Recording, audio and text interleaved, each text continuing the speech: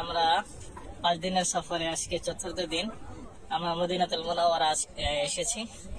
আমরা মদিনাতুল সাল্লাল্লাহু আলাইহি সাল্লাম কবর জিয়ারত করার পরে আমরা এখন ওহদ পাহাড়ে এসেছি।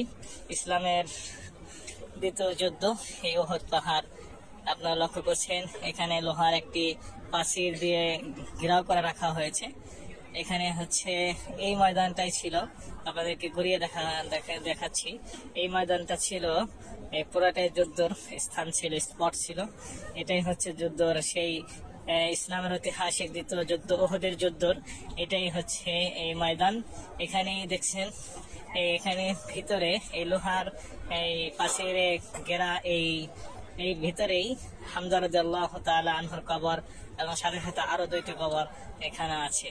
আপনারা লক্ষ্য করছেন যে এই যে পাহাড় যেখানে আমার সোজা পেছনে, এই ওহদ পাহাড়ের পিছনে একটি ছোট্ট একটি পাহাড় ছিল।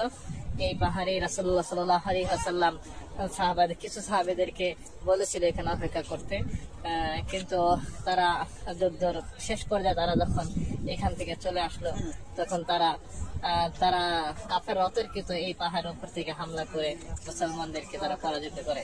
আর এই সামনে দেখেন, এটাই হচ্ছে এই প্রাচীরে ঘেরা এইটার পিছনেই হচ্ছে পাহাড়ের যে মূল, বড় যে পাহাড়গুলো, এই দেখছেন, এটা চতুর্দিক থেকেই পাহাড়।